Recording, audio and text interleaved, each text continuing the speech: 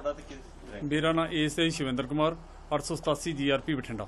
Sir ਕੀ ਮਾਮਲਾ ਹੈ ਜਿਹੜਾ ਇਹ ਸਰੀਏ ਨੇ? ਸਰ ਮਾਮਲਾ ਇਹ ਹੈ ਸਵੇਰ 3 ਵਜੇ ਕੋਈ ਗੱਡੀ ਲੰਘੀ ਇੱਥੋਂ ਦੀ ਤੇ ਗੱਡੀ ਜੋ ਸਿਗਨਲ ਨਹੀਂ ਹੋਇਆ ਤੇ ਗੱਡੀ ਰੁਕ ਗਈ। ਉਸ ਤੋਂ ਬਾਅਦ ਇਹਨਾਂ ਨੇ ਮੀਮੋ ਕੱਟ ਕੇ ਦਿੱਤਾ ਵੀ ਉੱਥੇ ਸਰੀਏ ਪਏ ਆ। ਸਰੀਏ ਤੋਂ ਉਸ ਤੋਂ ਬਾਅਦ ਆਰਪੀਐਫ ਨੂੰ ਮੀਮੋ ਕੱਟ ਕੇ ਦੇਤਾ। ਆਰਪੀਐਫ ਨੇ ਕੁਝ ਕਾਰਵਾਈ ਕੀਤੀ। ਉਸ ਤੋਂ ਬਾਅਦ ਉਹ ਉਹਨਾਂ ਦੇ ਹੱਦ ਉਹ ਚੈਨ ਆਰ ਨਹੀਂ ਸੀਗੀ ਜੁਰਮ ਤੇ ਉਹ ਸਾਨੂੰ ਜੀਆਰਪੀ ਨੂੰ ਦੇਤਾ। ਜੀਆਰਪੀ ਤੇ ਉਸ ਤੋਂ ਬਾਅਦ ਐਫਆਈਆਰ ਲਾਂਚ ਕਰਤੀ ਹੈ ਤੇ ਅਸੀਂ ਮੌਕੇ ਪਰ ਨੌ ਸਰੀਏ ਬਰਾਮਦ ਕਰ ਲਏ ਆ ਤੇ ਅਸੀਂ ਡੰਪ ਚ ਕਰ ਰਹੇ ਹਾਂ। ਕੀ ਕਾਰਨ ਪਤਾ ਲੱਗਿਆ ਵੀ ਕਿਉਂ ਰੱਖੇ ਸੀ? ਕੌਣ ਬੰਦਾ ਨਹੀਂ ਇਹਦੇ ਬਾਰੇ ਕੁਝ ਨਹੀਂ ਪਤਾ ਲੱਗ ਰਿਹਾ ਹਜੇ ਤੇ ਮੁਕੱਦਮੇ ਦੀ ਤਫਤੀਸ਼ ਜਾਰੀ ਹੈ ਕੋਈ ਰਿਕਵਰੀ ਹੋਰ ਹੋਈ ਹੈ ਨਾਲ?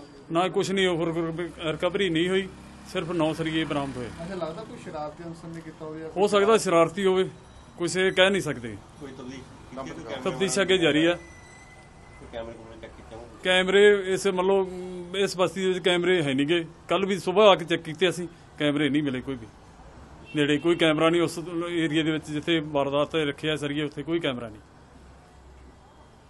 ਕਿਹੜਾ ਇਲਾਕਾ ਪੈ ਜਾਂਦਾ ਇਹ ਵਾਲਾ? ਇਹ ਰਸਤਾ ਪੈ ਜਾਂਦਾ ਜੀ ਬਠਿੰਡੇ ਤੋਂ ਦਿੱਲੀ ਦੀ ਲਾਈਨ ਤੇ। ਐਫ ਆਈ ਆਰ ਅਨਨੋਨ ਤੇ ਕੀਤੀ ਅਨਨੋਨ ਤੇ ਫਿਰ